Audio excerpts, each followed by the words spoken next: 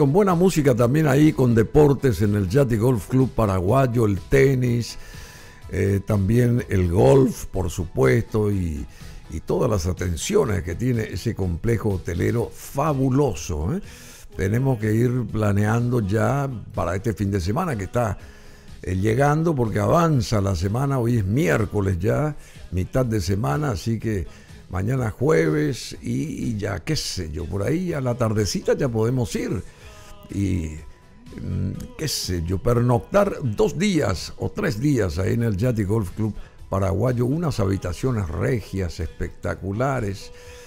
Bueno, y este señor que sigue cantando, Old Carly, Old Carly em, cumple hoy 68 años, ahí está, pero cuando era más joven, ¿verdad? Square Rooms habitaciones cuadradas y cuadradas y amplias son las habitaciones también del hotel eh, del Yati Golf Club Paraguayo. El teléfono, atención, 021 90 61 21 Resort del Yati Golf Club Paraguayo. Un solo, un solo, un solo pase para todo lo bueno. Y todo lo bueno lo tenemos ahora aquí con esta invitada de lujo en el canal 21 de Tigo TV Educanal, Canal 27, Copaco, IPTV y con BM Online. Señoras y señores, la economista brillante con un PhD, doctora en economía es ella y en desarrollo económico y social por la Universidad de Pittsburgh, Pensilvania, Estados Unidos, Gladys Venegas Cristaldo. ¿Cómo te va? Buenos días, muy bien Bruno, un gusto estar con ustedes. Yo solamente quiero que vengas porque yo admiro así tus ojos nuevamente. en serio te digo. Cada vez que, pero dice, hay gente que dice, no, vos sos muy profesional, no te tiene que decir Bruno eso, que admira tus ojos, pero vos tenés unos ojos que no tiene cualquiera. Gracias. ¿Vos sabés, vos sos consciente de eso o no? Sí, sí, sí, sí. Como digo yo, me vino un regalo. un regalo. Bueno, querida Gladys Venegas, una muy respetada economista, exdirectora financiera de Itaipú, y me dijo ella que el domingo eh, salió en el editorial de ABC un resumen interesante sobre la situación de Itaipú, sobre la tarifa. Acuerdo sobre tarifa en Itaipú no deja de ser una migaja más. Es el título del editorial del domingo pasado, del domingo 19 de mayo. Y acá se habla de, em, hablaban de Lea Jiménez, o habla este editorial, una de las principales exponentes y voceras del gobierno, Lea Jiménez, dijo que el acuerdo alcanzado con Brasil por la tarifa de Itaipú es el mayor logro paraguayo de la historia de la binacional, el mayor logro paraguayo de la historia de la binacional. ¿Es así vos comulgás con esto o no? No, no, ¿Eh? para nada. No, no comulgo con el lenguaje hiperbólico del gobierno. ¿Ah, sí? ¿Por qué? Porque, porque tratan, para mí, hablar de histórico, de hablar algo eh, como algo trascendental, va a ser histórico en los resultados, mm. no en el acuerdo. Mm. Entonces, eh, podemos decir que, O sea, se acordó algo, pero cuando comience a cristalizarse el, el, acuerdo, digamos. El acuerdo. ¿Y cuándo comienza a cristalizarse el acuerdo? Acordado, valga la redundancia. Y ese acuerdo para, para lo cual ellos firmaron y acordaron algo es por tres años. Ah. O sea que, ¿cómo podemos decir que es histórico si es para tres años? tres años. Tres años. Ah. Y algunos dicen, y yo estoy de acuerdo, que esto es simplemente comprar tiempo. Mm. ¿Por qué comprar tiempo? Porque tenemos tres años y para mí ahí está el problema fundamental de, de este acuerdo es que tenemos tres años 200 mil dólares más, 200 millones de dólares más. Mm. Pero después de eso... O sea, 200 mil por año. 200 mil por año por tres. Mm. Eso es lo que se tiene para gastar y para adecuar el sistema eléctrico paraguayo a lo que va a venir después. Mm. Porque después tu tarifa, lo dice bien Brasil, va a ser de 10 dólares, va a ser y no vas a tener ya gastos sociales y no vas a tener nada. Mm, bueno, ya sé, pero, pero ahí, viene ¿Qué se hizo en todo este tiempo? ¿Qué hicimos nosotros? No Brasil. ¿Qué hicimos nosotros? Porque le culpamos a Brasil. Eh, no deja de ser una migaja más, dice eh, el titular de este editorial. El acuerdo sobre la tarifa Itaipú no deja de ser una migaja más. Y, pero nosotros no recibimos migajas, recibimos millones de dólares. ¿Qué hicieron los gobiernos con esos millones de dólares recibidos eh, en 35 años? Esa sería la consulta, querida Gladys. Y la verdad es que no se hizo nada. Y en, eh, en, el sentido y, voy a hablar un poco en contexto de desarrollo. Mm. Resulta que Paraguay no tiene industrias. Mm, y las industrias son las que dan mano de obra, principalmente cuando tenemos una, un cambio de una expansión o una transformación del sector rural al sector urbano. Toda esta gente que viene del sector rural tendría que venir a empresas, a trabajar en industrias que son las que deben dar puestos de trabajo. En Paraguay no hay industrias. Si, mm. vamos a contar con, los dedos de la mano, yo creo que hay 10 industrias o 10 manufactureras que son las que dan trabajo. Entonces, ¿cuál es, quién es la que da trabajo? ¿Cuál sería la finalidad? O sea, la finalidad nuestra sería la inversión, que vengan acá las industrias, que se instalen acá y que, se que, que, haya una industria nacional que, empiece a vender mm. fuera. Pero, ¿quién da puestos de trabajo? Mm. El Estado. el Estado, claro. Entonces vos contratas en Itaipú, y contratas en Yacyretá, porque no hay otra forma de, buscarle un, un trabajo. O se tiene que ir al sector informal. Entonces, ante esa, ante esa disyuntiva, yo creo que lo que hizo el gobierno fue simplemente crear puestos eh, para los para los amigos en este caso o para los familiares, para alguien que esté relacionado. los gobiernos desde el 89 a esta parte. Claro, y los que están hoy en Itaipú y los que están en otros siempre están relacionados con eso de la primera generación. No es gente que, que, vino en algún momento, sino gente que, que fue y está haciendo carrera o hizo en un momento carrera.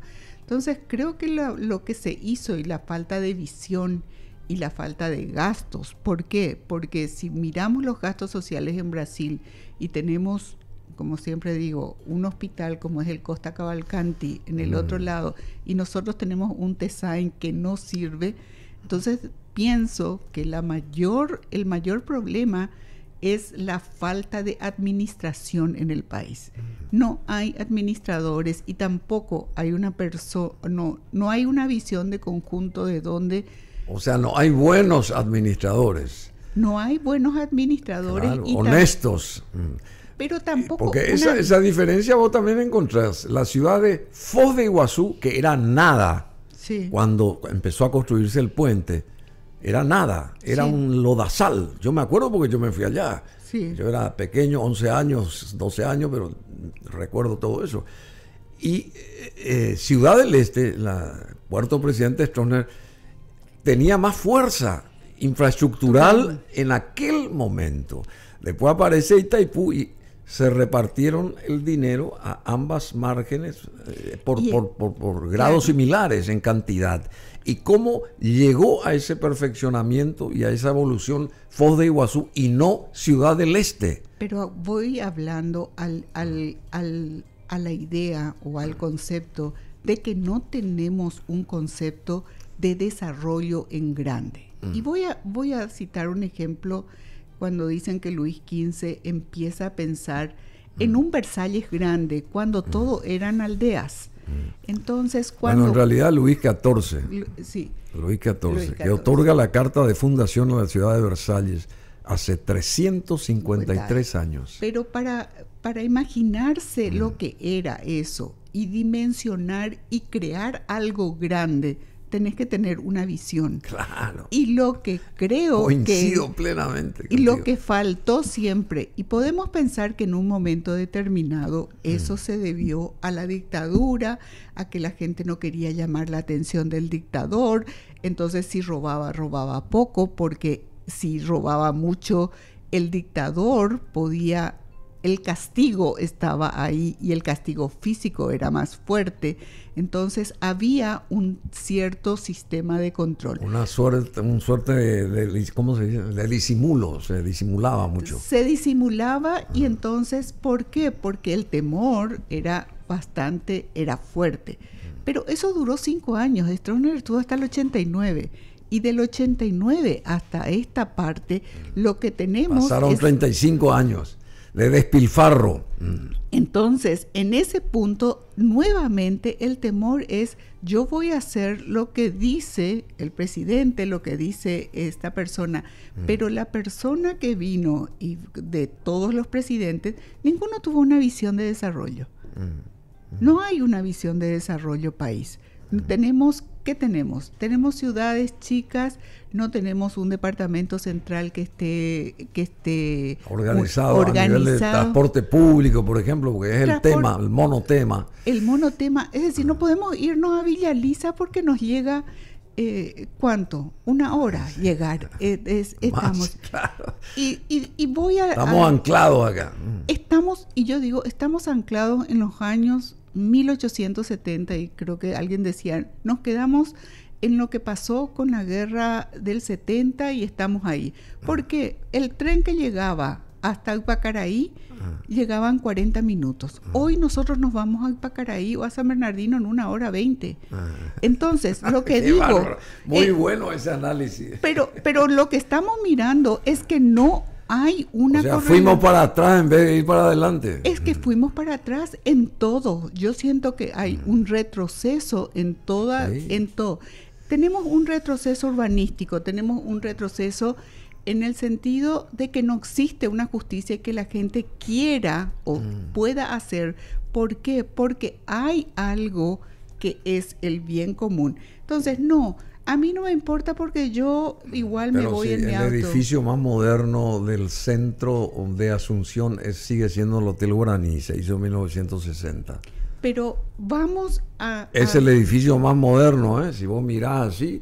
Sí. El, el futuro, y es futurista desde su origen y hasta ahora sigue siendo vanguardista el Hotel Guaraní a nivel y hoy no imagen. nada de vanguardia. Y cuando hablamos de, de, la zona de Santa Teresa y miramos el desarrollo, otra vez es un desarrollo de un edificio, pero no es un desarrollo urbanístico en el cual tenga que mirar el conjunto.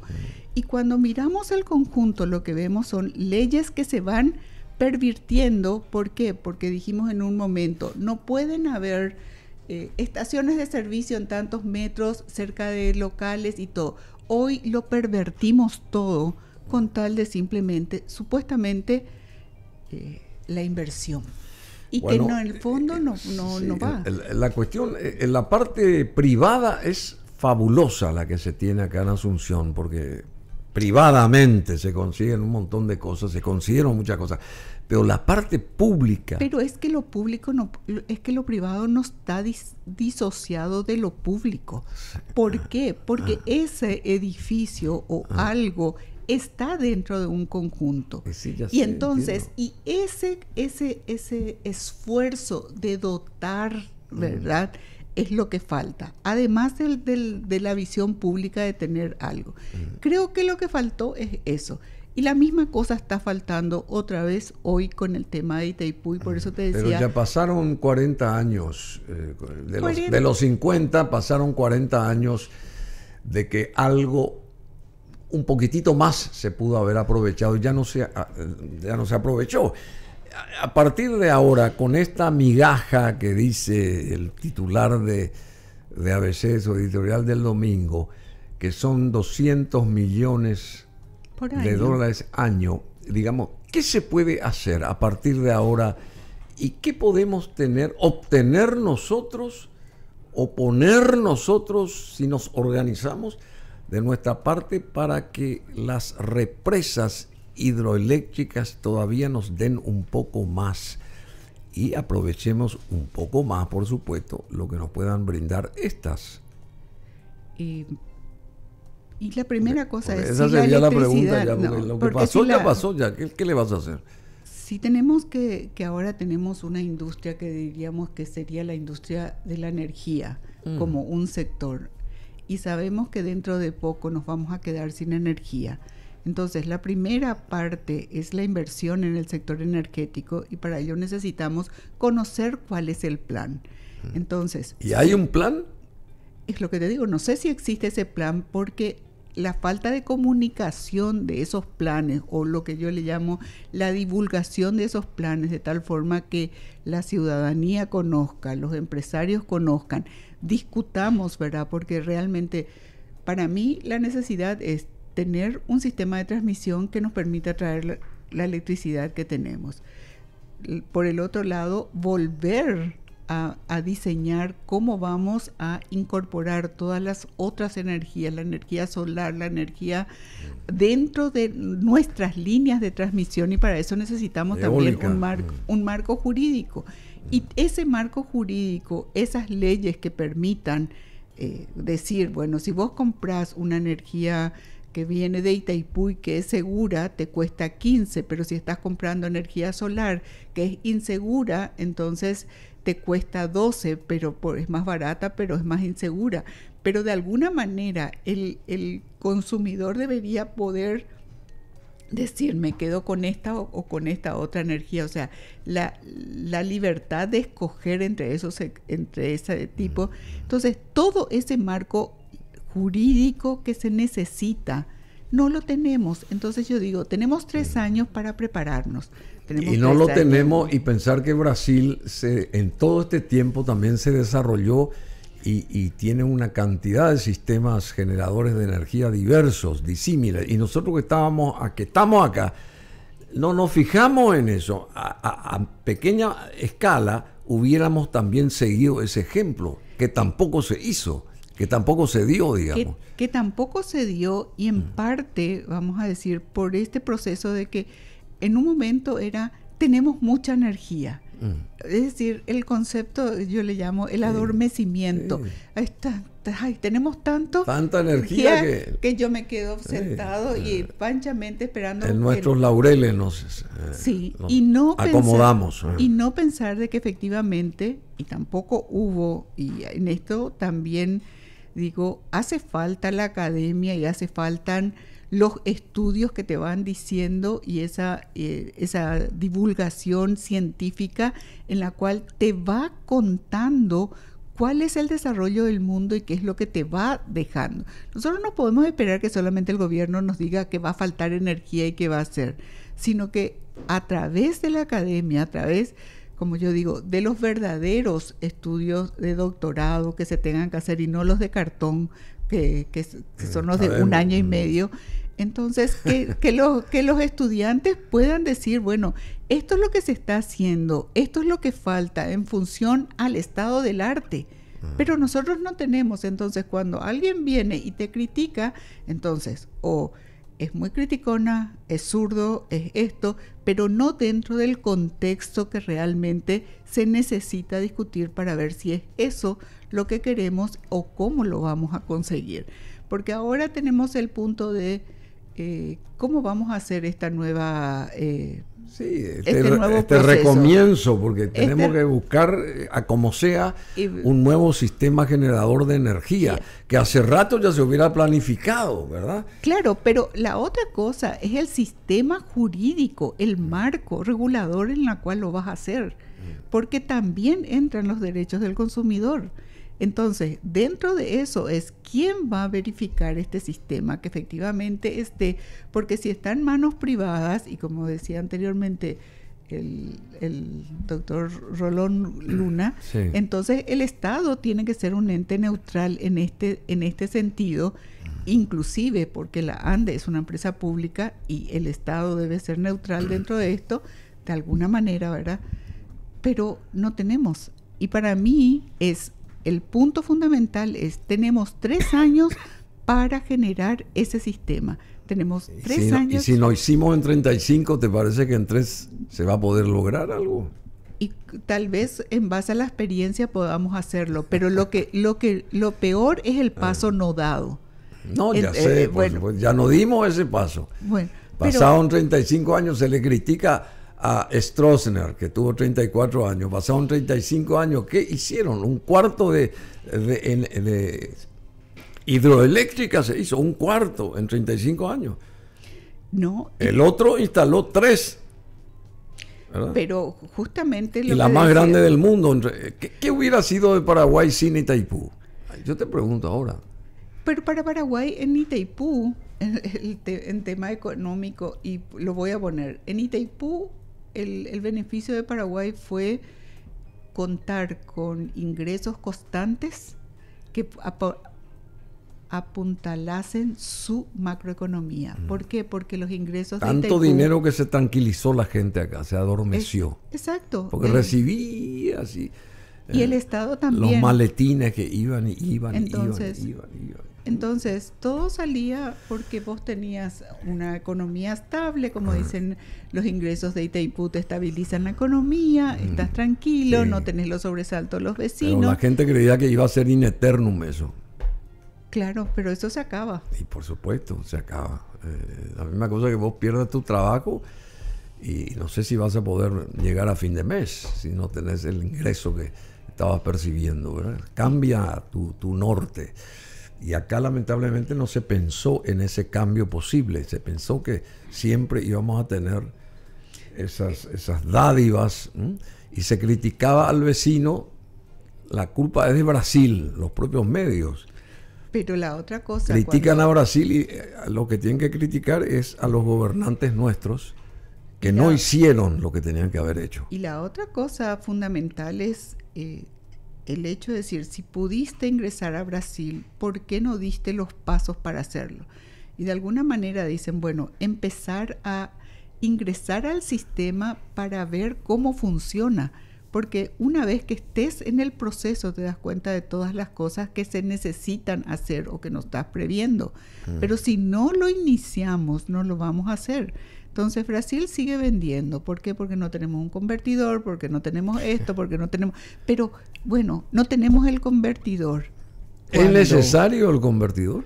Ahora lo van a hacer vía Furnas. Sí, ya sé, famoso, eh, eso yo escucho, pero, es, pero según los especialistas no es necesario un convertidor. Bueno, no es necesario el convertidor para, para vender ya, pero a mediano y largo plazo, ¿es necesario? Esa es la pregunta. Sí, justamente yo te transfiero esa, esa pregunta. Ah, no sé, eso es técnico. Ah, ah, ah. Para mí es totalmente técnico, pero, pero lo que sí y creo... por otro lado, dice que la, dicen que la energía que van a vender ahora vía Itaipú, porque hay una melange de energías de todas las usinas, pero va a eh, provenir de Acaraú esa energía. Claro, porque hay un punto importante, es que Brasil necesita esa energía. No es que yo puedo decir de que voy a quitar esos 100 o 200 que le estoy vendiendo a Brasil. Y la pregunta es, ¿de dónde va a sacar Brasil? Entonces Brasil te dice, está bien, vos me vas a vender, pero vos no me puedes vender lo que ya me estás vendiendo. Vos me tenés que vender otra diferente. Ah, por eso lo de Acaraú. Por eso lo de Acaraú. Bueno, pero ¿y por qué en todo este tiempo, 35 años, con tantos ríos, tantas cascadas, tantas cosas que tenemos, nos hicieron tres o cuatro pequeñas Acaraú también? Dentro de nuestro territorio te hablo. ¿eh? Porque... Justamente para, para, llegado el momento, tener una solución, una carta bajo la manga. Y la, la, pregunta que yo tengo es esa visión de estadista de a quién había que convencer. Pero si el gobierno de Japón entregó toda una cosa gratis, o iba a ser gratis, eh, eh, la represa Iguazú iba a ser no sé qué cosa, y nadie se ocupó de que eso se cristalice, por ejemplo. Dejaron dormido ese proyecto que era fabuloso, eh, prácticamente donado, prácticamente donado por los japoneses. ¿Eh? ¿Vos sabés eso? ¿Sabés de qué, se mm, trata? el proyecto Iguazú es como una conexión ahí cerca de Acaral. Eh, para mí el punto fundamental y, yo me la pregunta que tengo es ¿por qué o cómo? No, ¿por qué no? Eh, ¿Cuál es el factor que hizo? Si fue una falta de apoyo del presidente al, diríamos, al al ministro o al presidente de la ANDE o a quien sea como para desarrollar esa visión o el interés siempre fue muy sectorial. Entonces no me preocupo, yo me preocupo solamente de, de este pequeño... Aquí.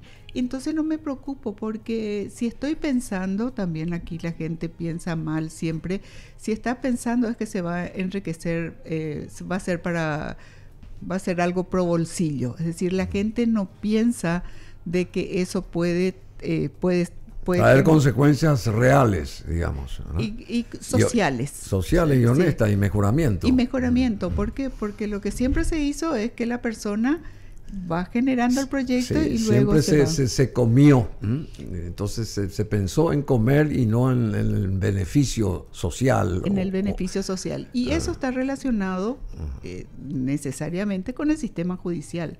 Y mientras el sistema judicial no mejore, y el, el y como decimos como decimos y que el que, que el que el poder judicial realmente intervenga en los casos en que debe intervenir y no simplemente para favorecer con medidas cautelares entonces ahí vamos a tener un sistema que funcione. Porque yo digo están las criptominerías y se le aplicó la multa y se cobró la multa.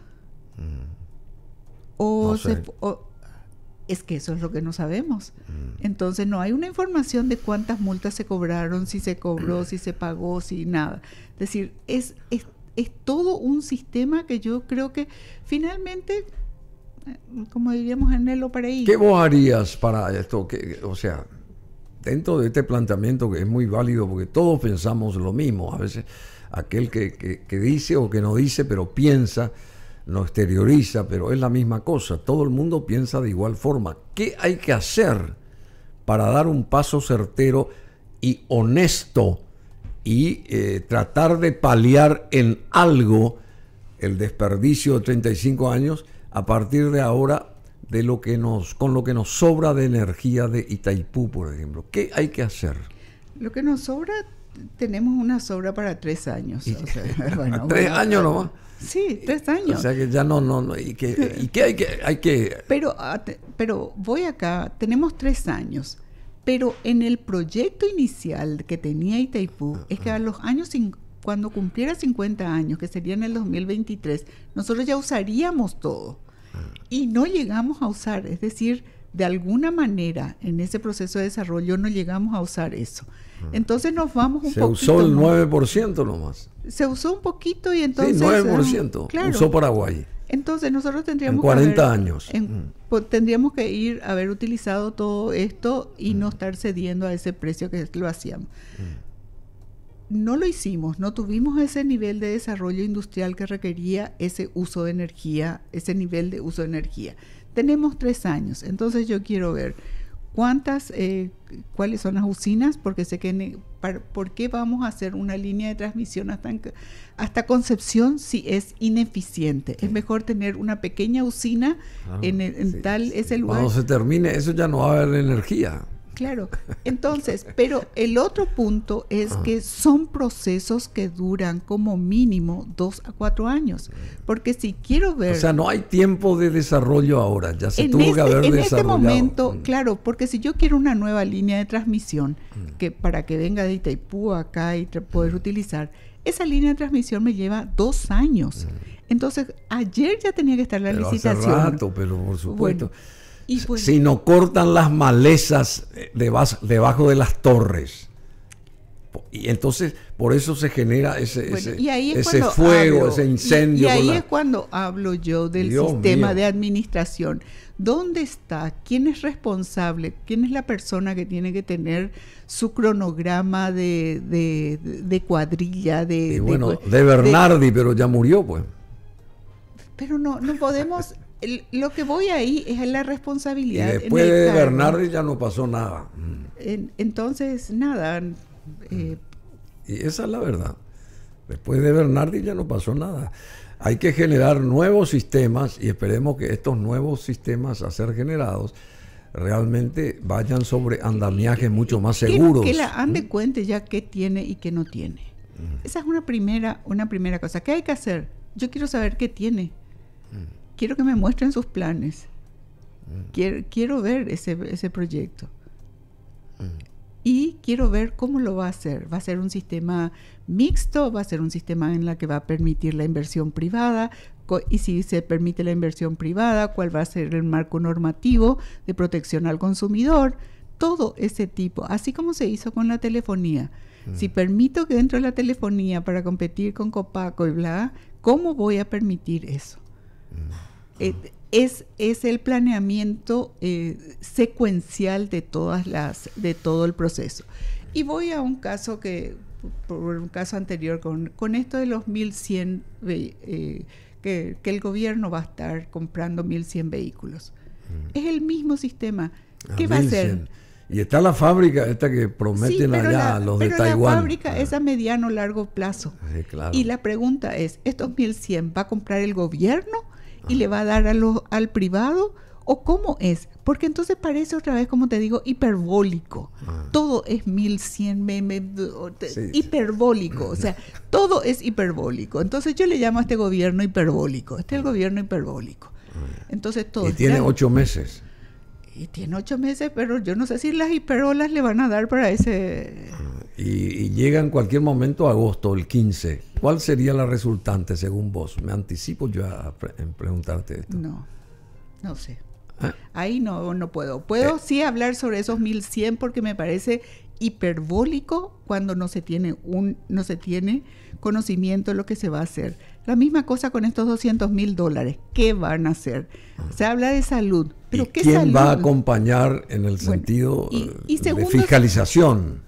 Por el, por el otro lado, y voy otra vez a hablar a otros.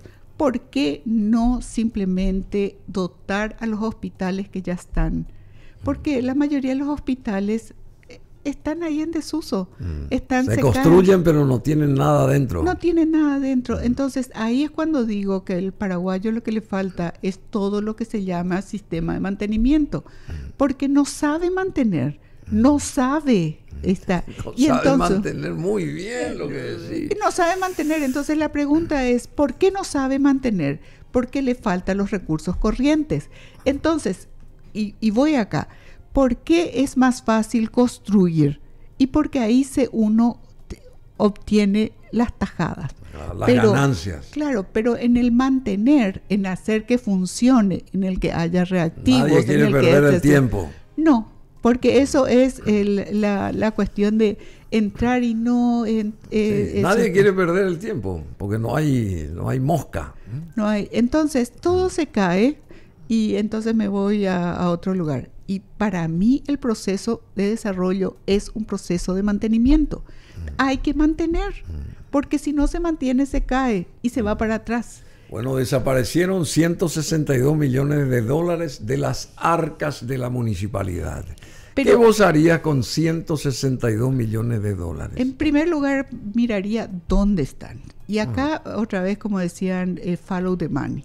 Follow the money, seguir el dinero. Seguir el dinero y para mí algo que, yo miraba y decía, las grandes, las auditorías son mirar dónde está caja y bancos. Entonces, saber cuánto dinero hay, entonces yo te hago tu, como es, tu arqueo de caja y sé si tenés dinero. Entonces, para mí, el que hizo la auditoría de la municipalidad, ahí está también el sistema, como te digo. Si ahí siguen bailando, pues. No, si es que le hizo siguen una, bailando. Sí hizo una, firma, una firma externa. Ahí está, mira, mira. Ahí está. Siguen bailando ahí. Faltan 162 millones de dólares y siguen bailando ahí. Claro, porque no hay justicia. No hay justicia. No hay justicia. Bueno, querida eh, Gladys Venegas, sos eh, fabuloso. Coincido contigo plenamente, no se hace un seguimiento, falta honestidad, falta visión, visión, visión, visión. Y tenemos que pasar por frente al Hotel Guaraní, seguir admirando el edificio más moderno del centro, y se hizo en 1960. Y para mí una de las cosas es, quiero ver el la planificación urbana. Mm. Si comenzamos con esto, digo, ¿cuál es mi planificación del Gran Asunción? Mm. ¿Cuál, es, ¿Cuál es? O sea, en, términos edilicios, en términos de infraestructura social, en términos... Todo, ¿Dónde está? No otra pregunta, otra pregunta. Un edificio como la sede del Banco Central del Paraguay hoy, se podría realizar con ese fortalecimiento que tiene ese, ese banco central. Y, eh, estoy hablando de la parte de estructura, ¿verdad? Porque esa es una ciudad bancaria, más o menos. Es una ciudad bancaria. Es el edificio más importante que hay en este país, fuera de las de los edificios de los de las hidroeléctricas. Eh, la otra cosa que yo hablo, que, que a mí que miro y ah, me pregunto y también le hago una crítica a la academia en sí, es que nosotros tenemos todo un sistema de, de, construcciones que tienen serios problemas. Mm. Eh, rajaduras, eh, los, los pero no hay un estudio. Porque no hay fiscalización. sí, pero no, pero tampoco sabemos, tampoco sabemos si qué condiciones estructurales del Paraguay en términos de clima, en términos de la manera en que se hace, contribuyen a que eso suceda. No puede ser que vos te vayas dos años ni dos años después sobre Bruno Gullari y hayan unos cráteres enormes ¿Qué es, ¿Cuál es el problema real de eso? ¿Es simplemente porque no pusieron la mezcla? ¿Es simplemente... Y esos son Porque no hicieron bien ni a conciencia, se repartieron la plata y nadie se responsabiliza de los trabajos. Claro, pero también es una falta de una auditoría, ah. vamos a decir, técnica en la cual te muestre que eso sucede. Entonces decimos, Bruno, y acá con esto, hicieron mal y metieron el dinero, pero ¿cómo metieron el dinero y por qué hicieron mal? ¿Y por dónde está la sanción a eso? No existe. nadie está en la eh, cárcel. Entonces, en la sanción o en lo que tenga que hacer, y, y que le sigan a esa empresa que supuestamente ahora estás licitando por la construcción y el mantenimiento, que haga el mantenimiento en tiempo y forma. Pero eso lleva tiempo y nadie quiere hacer. Mm. Porque es, es, eh, te vas a pelear con esto, te vas a pelear por, mm. porque... Y si vos le escuchas a un argentino, te, te dice todas las cosas. Oppenheimer. Oppenheimer. Hay que traer la bomba atómica. Sí, pero él cuando crea la bomba atómica crea primeramente qué cosa? el, aparato. Sí, claro, el aparato. entonces no, no podés hacer la bomba sin el aparato. Y entonces aquí queremos hacer la bomba, pero no queremos hacer el aparato. los brasileños tienen furnas y nosotros no. De alguna manera, sí. 1980, en ese año se hacía este tema, Hey 19 Stilliten. Muchísimas gracias, Gladys. Seguí siendo linda, ¿eh? porque inteligencia tenés de sobra.